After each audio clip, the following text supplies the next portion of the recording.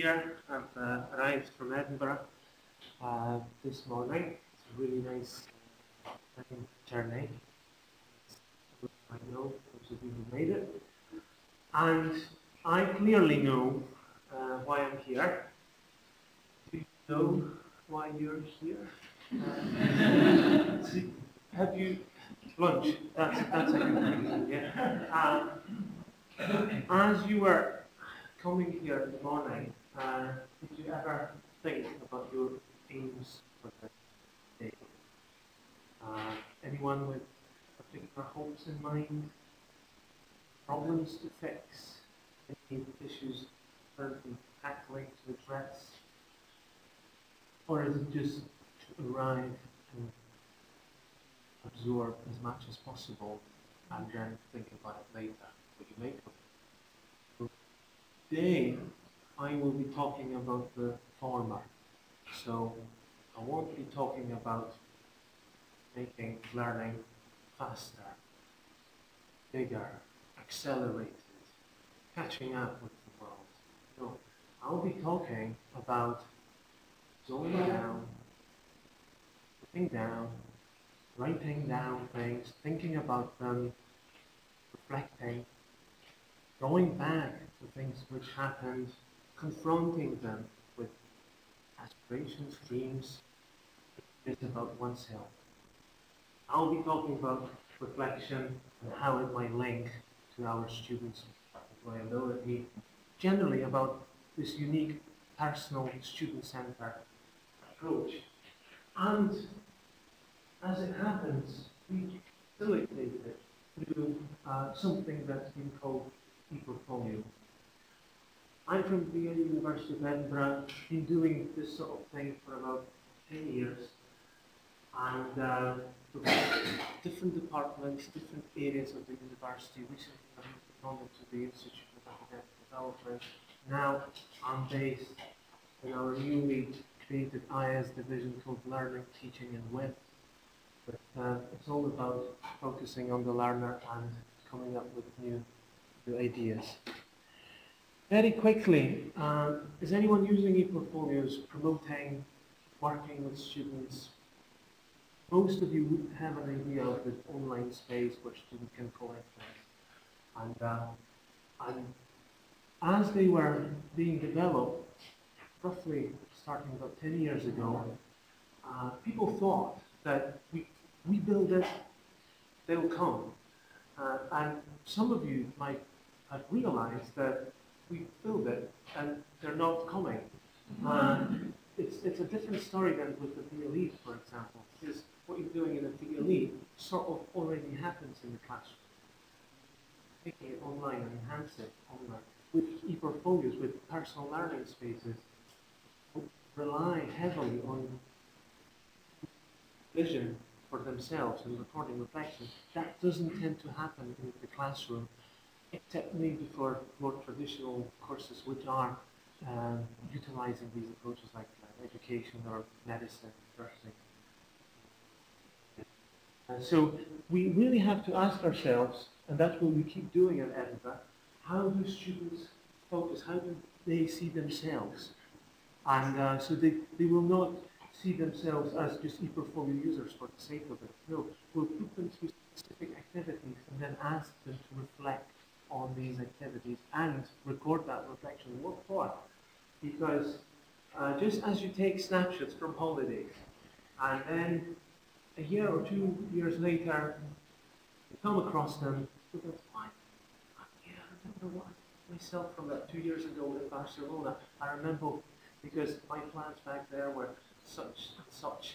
And you confront your present with the past, that's how you really learn. So I'm simplifying here uh, quite a lot about how students view reflection, should view, but uh, generally the whole e-portfolio debate, in my opinion, uh, should be focused predominantly on reflection and recording reflection and creating activities or making most of activities which provide these reflective opportunities. So as students arrive, or even shortly before, as you ask them why you want to become a candidate for this university or student for the That's, that's what we do. Specific um, schools will create pre-arrival questionnaires. These uh, questionnaires in the past, they would have been filled out on paper and uh, into an archive. Now we're trying to link them with the future portfolio account um, of what students will will use so that they can always go back to the first months or even first weeks before they, they started to look at what they promised themselves or they were hoping to get from their degree. And throughout the studies, there's been loads of opportunities um, for organizing these uh, reflective activities. But there's also placements. There's also things linked to projects students might be involved in uh, in hope of boosting their employability as they graduate. And uh, these are roughly the areas on which we, we concentrate. Another big one is personal tutoring. Uh, do, do, you have a personal tutor system at the university? Uh, so at Edinburgh, students would have some sort of academic mentor um, who they would meet once per semester, so twice a year, and they would also meet that mentor in groups of students. One meeting, uh, one group meeting, and then one one-to-one meeting per semester. And so that person's kind of within the same school, but slightly disconnected from the teaching um, group that the students taking, and they would have a chance to share problems, questions, ideas during these meetings. So we're trying to also ask students to record their reflections, their problems onto onto the e-portfolio or personal learning learning space or a, a vehicle for recording it. Um, so just as an example, and I'm slowly hinting as to which particular system those of you who are uh, biased for and against different systems. Uh, this is, um, can anyone tell what system this is? Pebble, yeah. This is Pebble, and we're using uh, PebblePad at Edinburgh. This is just an example. I'll, be giving a few examples of this. Uh, some things words. Um, a template that we built for our chemistry students going on placement. So it's a list of skills that are supposed to acquire during their placement. And yes, that had been articulated in the past in their guidebook, but it's so much nicer to, to have it as an interactive form, which gathers their levels of confidence. Uh, and if we're talking about a cohort of 50 or 100, we're able to run reports of these anonymous reports, obviously, as students respond to, to their and they would be asked to to interact, to engage with this template at the beginning, throughout, and ideally at the end. Might help to write the final report as well. Just to take that snapshot, something which I was talking about, just to even have a chance to confront oneself with these these questions. Uh, and why? That, again, going back to how do we convince students, it's I used four years, many degrees take four years, uh, but any number of years. It's just making it different from some from a period of time that's just identical one, that just repeated four times. Make it into a proper journey uh, during which students constantly develop and they never move back um, and they never get that feeling of uh, repeating the same old thing just a number of times as they return from their summer uh, holidays. In terms of Pebble Pad, uh, this is our main portfolio system that we use at uh, Edinburgh University, our main reflection recording vehicle.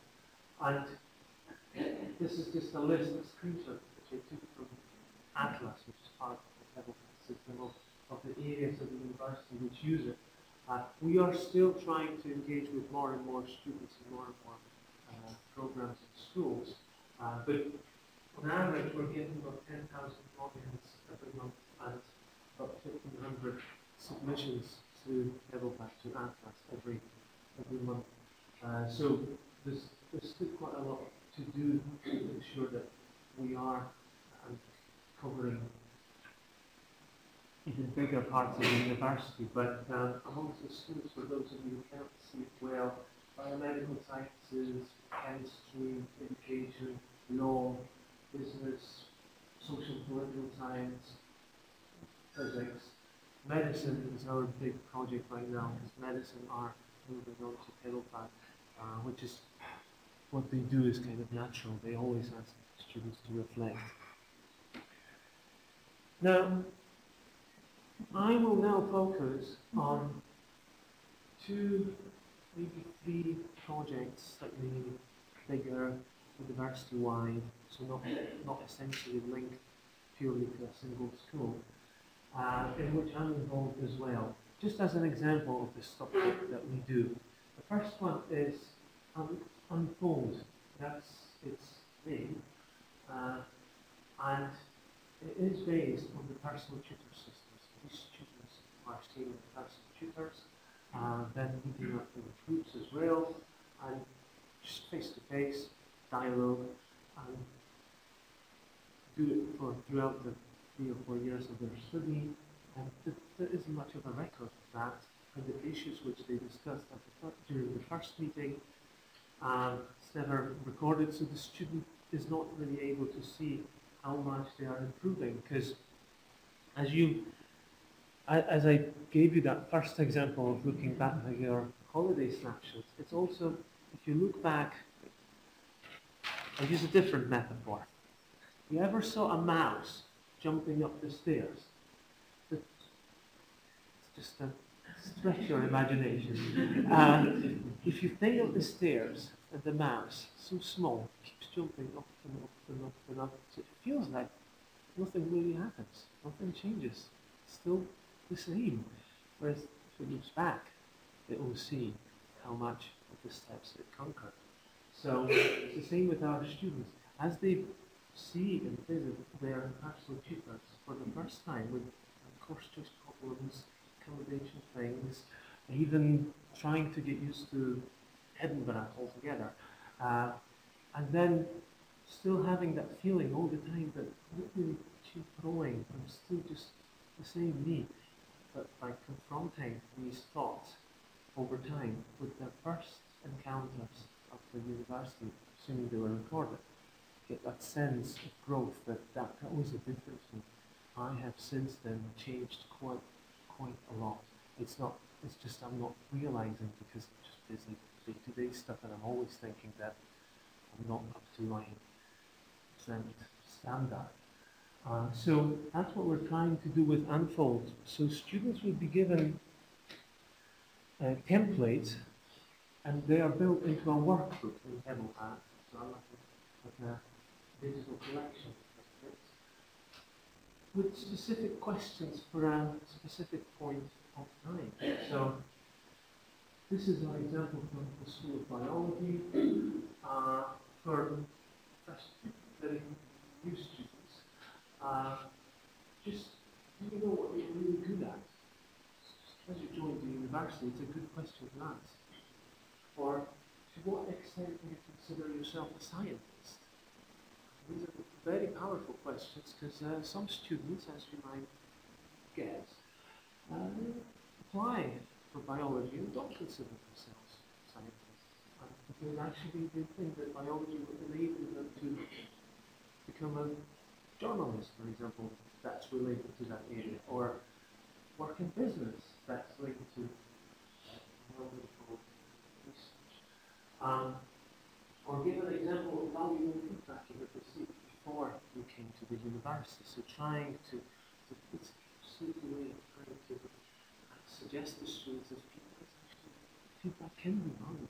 Feedback important, and you had been given it before, you don't realize, but think about it hard you come across something, so you're aware of that, you'll be looking out for more feedback, hopefully, as you go through the university. So these are the sorts of things that a student would fill out and then meet their personal tutor, discuss, maybe write some comments and save just stays there.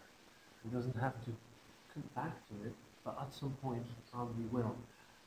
And the personal tutor can also use it to write references at the end, because as, you, as a personal tutor, you have 20, 30 students, you might not remember specific individuals and their issues in the class.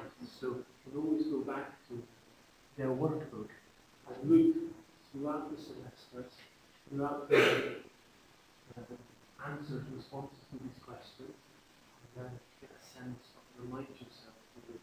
Anyway, amongst the questions that we ask throughout all are things to, which are linked to graduate attributes, because University uh, Edinburgh has got its own graduate attribute set, uh, split into four clusters, such as research, inquiry, communication, personal, intellectual, autonomy, and personal effectiveness.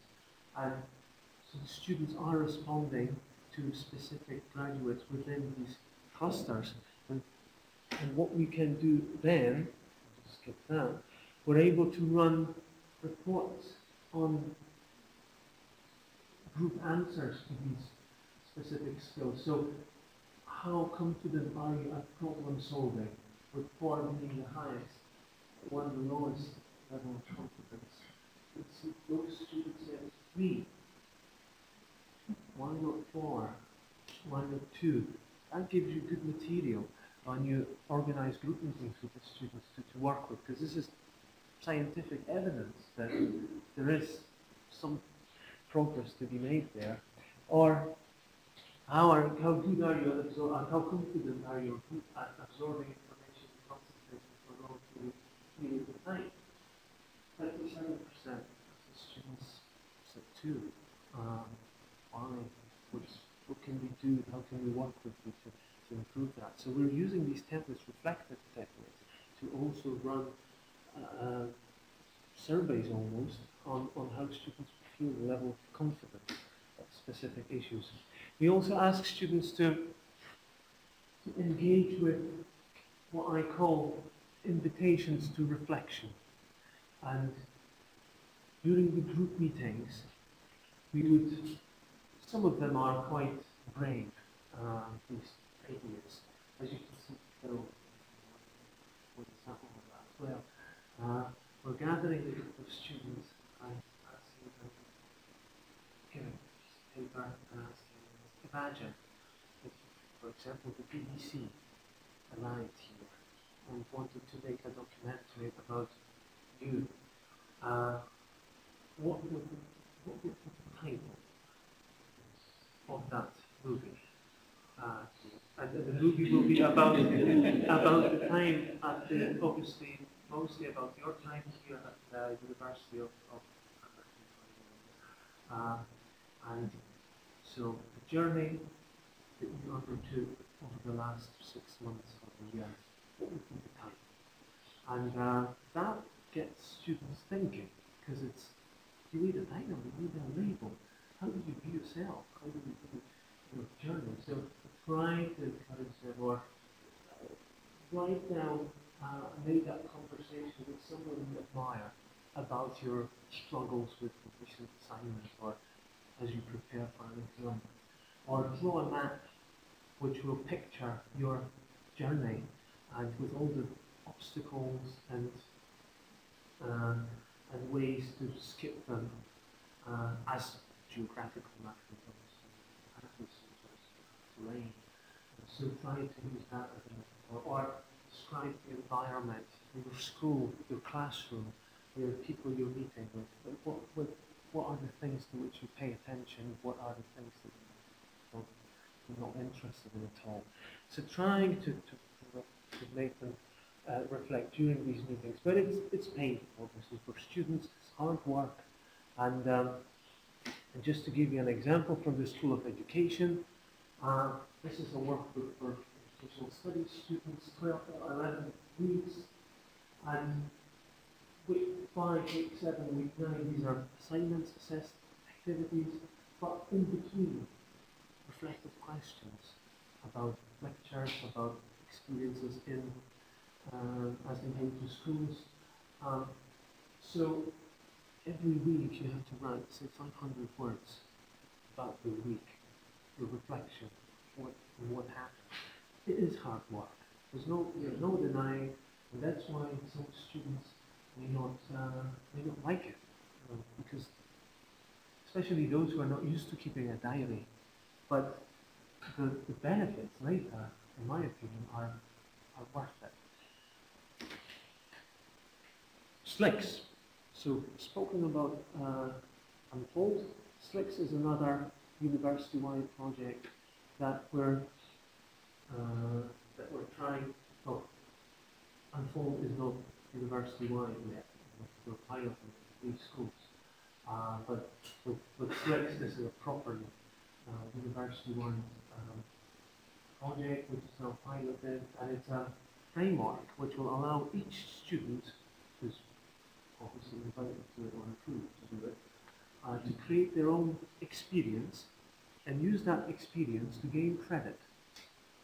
That experience, just to give you an example, a student, an art student, goes to an art gallery for a few weeks and is working on designing exhibitions. And before he gets there, he writes a proposal. Okay, um, that proposal's approved. In that proposal, they set goals for them, educational, academic goals for themselves.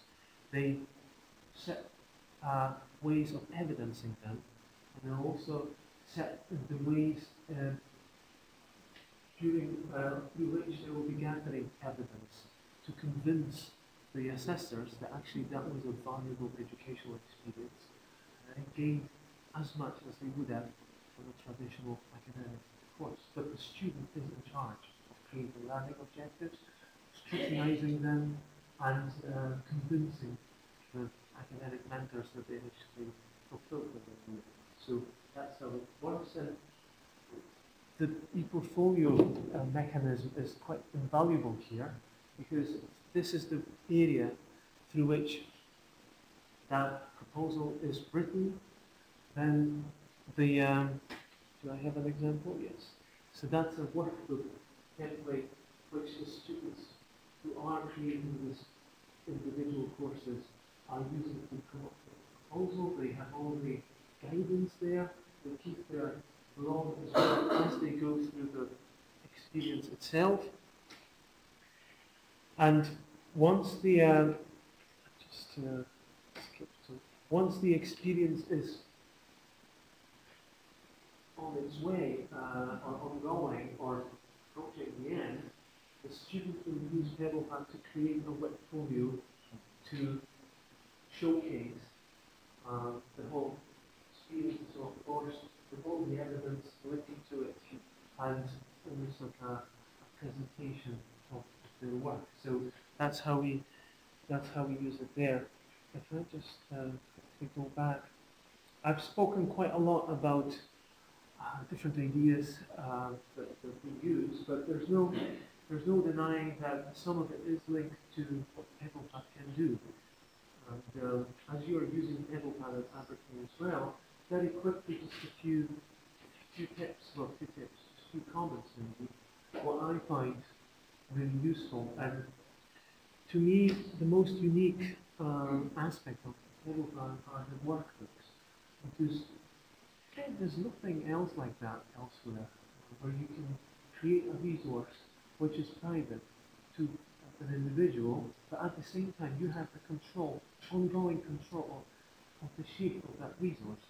So you can expand, you can stretch, you can add things. That's all the student needs to log in, needs to do is to log in and just uh, and just look at what's there, and you work on the structure.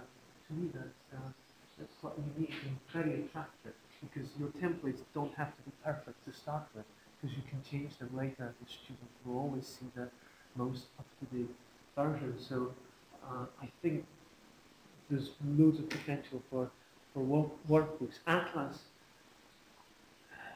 in terms of assessment, uh, double marking, triple marking, setting different levels, changing dates, splitting people into sets, different level of approvals, the different levels of approvals, uh, inviting externals without having to register them within the other systems.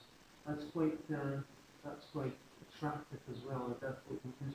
Our School of Law is using Atlas for their traditional assignments, collecting files and learning to turn it in. Um, our College of Medicine is, is doing some of that as well. It's, it's, it is quite powerful, so not only for reflection, but also for more, mainstream things. Um, that, uh, example of a web folio just just a quick word about other areas uh, which are utilizing that sort of recording reflection approach.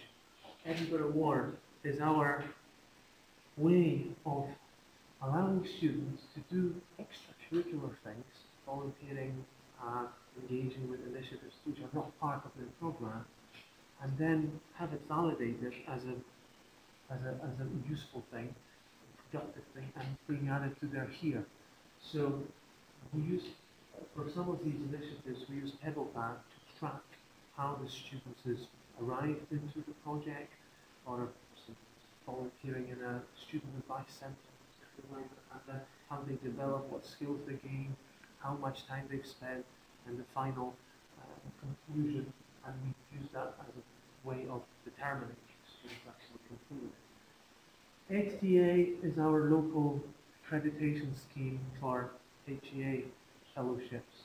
And so our academic colleagues are able to use a workbook uh, in, in to provide documentation necessary, the necessary uh, reflective content. So you already see there's quite a few schemes which are asking people to, to reflect. It's just stopping them and, uh, and suggesting maybe we could do it online because of the uh, obvious advantages, but also for the fact that it's sometimes more sustainable. Other ideas, I've mentioned assignments, self-assessments, wonderful example from our School of Chemistry. Students are submitting their assignment file and alongside that they fill out the feedback form, which is identical to the form that will be used by their marker. It's just that the student has to do it for themselves. And grade, comments, weaknesses, strengths, usual. And we're able to compare that against the uh, proper uh, feedback from the assessor later on. We're able to also produce these pie charts and look at how whether students are under uh, stating uh, their achievements are overestimated. Proposal forms for any research approval committees, any ethical bodies which are approving uh, proposals, use that workbooks for that templates and just quite a lot of flexibility there. Create portals as well so you can give students a web folio and ask them to edit that web folio collaboratively. That can be made public and so it's almost like giving a website to students uh, and to a group of students and asking them to, to work on that public engagement aspect of displaying knowledge as they learn. So that's all um, doable through any ePortfolio system, but that's the stuff that we do through through PebblePad. So not super linked to recording reflections, but still doable within the same area. So as you can see, to finish off, uh, it's that's why the, we build it and they came or they will come. Um, doesn't work for e-portfolios because you have to tell people why they should come and then start building it also the other way around. But um, I would be happy to take any questions later.